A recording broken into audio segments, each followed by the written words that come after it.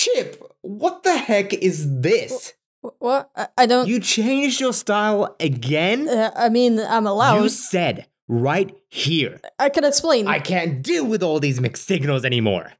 I'm unsubscribing.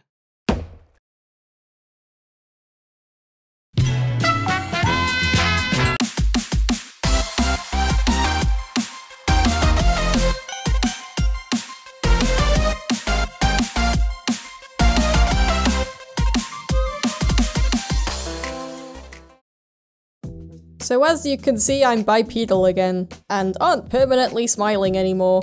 So with this now being the 14th- 14th? Are you serious? Iteration of my character, and after already breaking the statement that I made two months ago about not making any more big sudden changes, I think it's about time I deliver an explanation.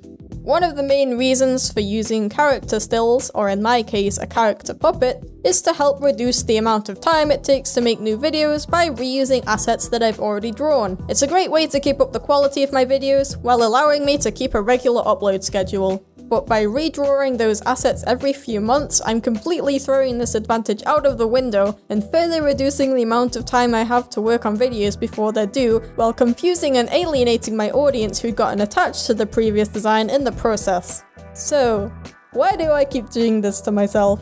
Let's start at the beginning.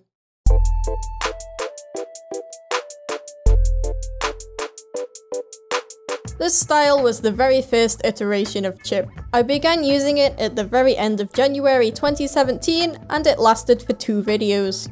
It did not have a lot of thought put into it, because at this point I had been stalling the beginning of my channel and I knew I just needed to make something in order to kickstart it. I was kinda struggling to draw something that looked nice, so I ended up going with a lineless style because Due to its simplicity, it's pretty easy to make professional looking stuff, even if you're not that good at drawing, using a lineless style. Later in my second video, I experimented with putting my character on the right side of the screen and somehow ended up messing up the ear colours of my own character. I don't know if you've noticed by now, but I kinda have a problem with mixing up left and right.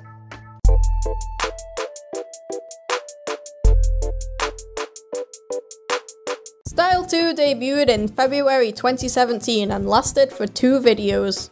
So my previous style was a puppet, which means I had a set drawing of the head and body, and the arms, eyes and mouth would change based on what emotion I wanted to convey. It's a great technique if you want to create a variety of expressions with little work, but it's quite restrictive. It's not so easy to make, for example, the head turn to face the camera because it's stuck in this one position until you draw a new one. So, wanting to have more freedom with my character expressions and also feeling like I could draw something better, I created style number 2. This time I felt more confident with my line work, so I used a sketchy style of line art instead of using the lineless style.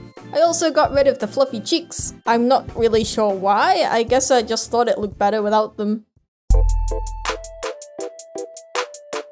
Style 3 was created in May 2017 and I used it for one video. I like to call this a spin-off style because it wasn't meant to replace my previous style, rather it was designed for a different type of video with a different tone. In this case being a metafictional story about the character of Chip. Some people have guessed this already, but the entire style of this video was heavily inspired by the Pointy Ponies style. It's basically a style from MLP which was adopted by the fandom and used in many fan animations including a bunch of fictional stories animated by an animator called Beaver Reverie, involving YouTubers doing stuff? I had this fictional story idea in my head, and the cute and minimalistic style was perfect for it.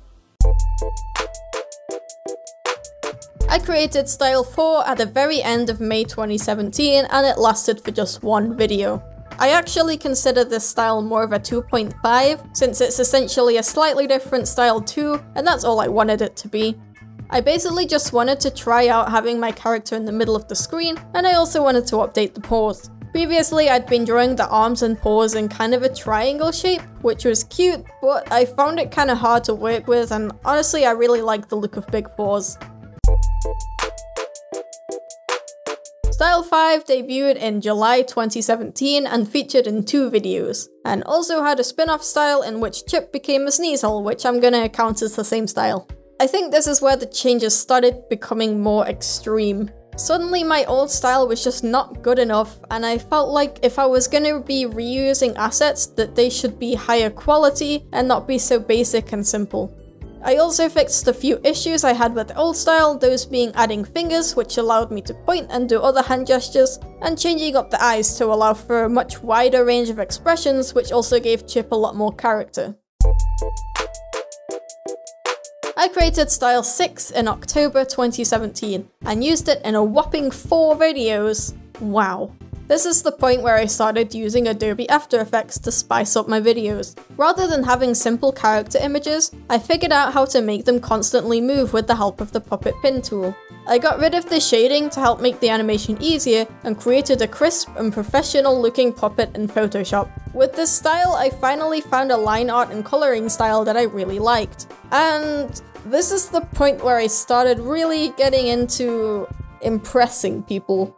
Suddenly I had this drive to have the best animation and the best editing of every channel similar to mine. I don't know why, but despite every new upgrade to my videos taking longer and becoming more and more stressful for me, I didn't want to stop. But before I talk about yet another big change to my main character, let's talk about...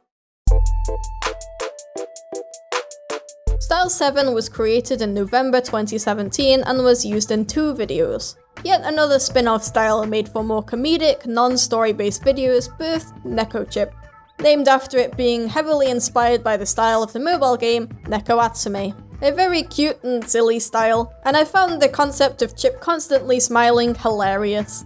To add to the simplicity, I used a colourless sketchy style with boiling, which is where you draw the same frame multiple times to create this wiggle effect, which added some character I think, and made it a little more interesting than just the still drawings. Style 8 debuted in January 2018 and was featured in 4 videos in total. Style 6 just wasn't cutting it anymore. It was cute, but didn't really suit the kind of character I wanted to portray. I mean, just try to imagine this chip telling the story of me searching naughty words on the school computers as a kid.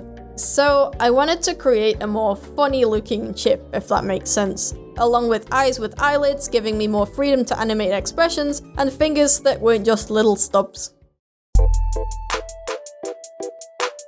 Style 9 was introduced in April 2018 and lasted for 3 videos. Style 8 eventually just looked bad to me. I can't really pinpoint why, but as I was creating my last video with it, I just kept thinking, I can do better.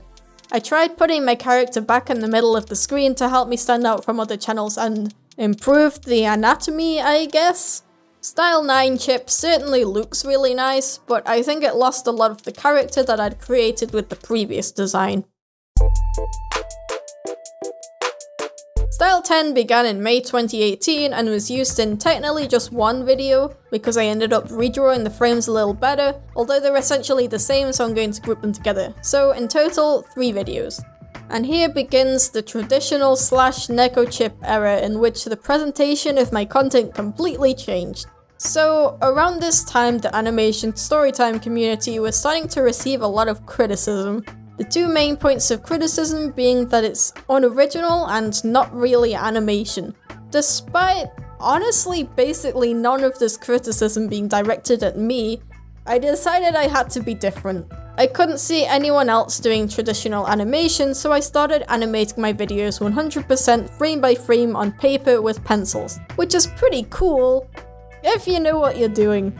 The quality of my videos plummeted by doing this. I had never done traditional animation before, and I barely had any experience with using coloured pencils. Yet, I decided to completely overhaul the presentation of my videos that I'd been working so hard on, just to impress a few people whose critiques often weren't even relevant to me, and a few commenters who continued to comment no animation, even after painstakingly animating my frames frame by frame on paper. Bringing this back to character design, that was another thing I overhauled. Making what was supposed to be a silly spin-off design the main focus of my channel was kinda dumb.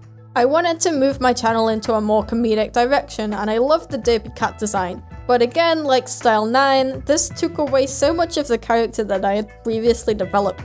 I kind of cut off the connection between me and my character. I mean, I'm not constantly smiling and staring blankly into the distance. I love the idea of a character like that, but it's just not me and it doesn't fit my personality at all.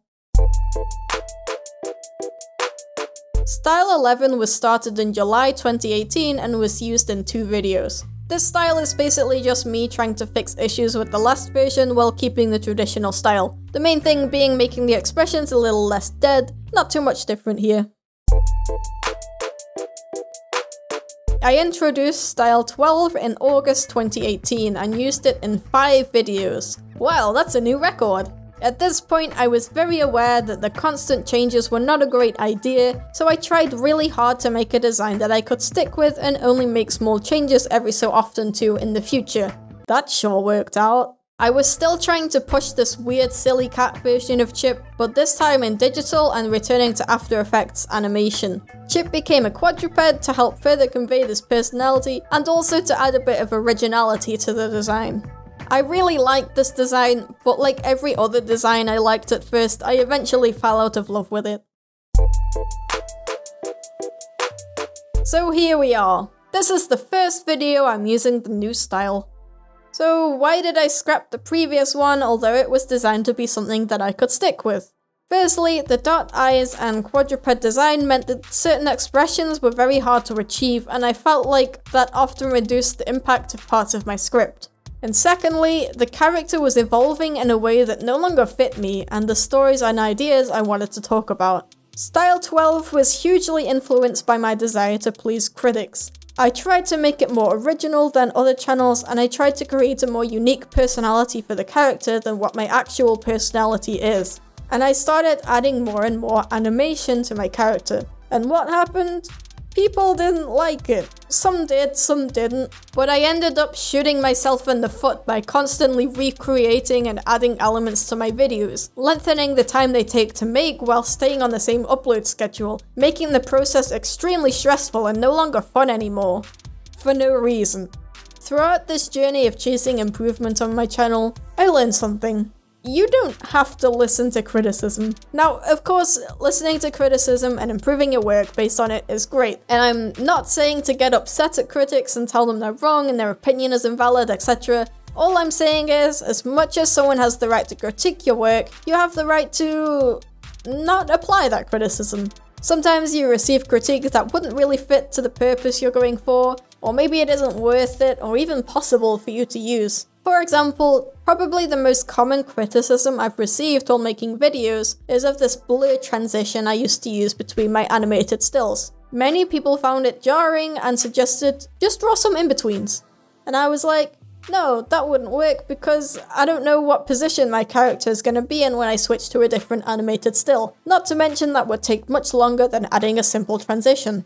And obviously, eventually I gave in and converted my character into a full puppet with unique animation for every new video, which was a massive waste of time and energy. 99% of people didn't care in the first place, and I had even stopped getting complaints completely because I had already switched to this bounce transition that I never got one comment about.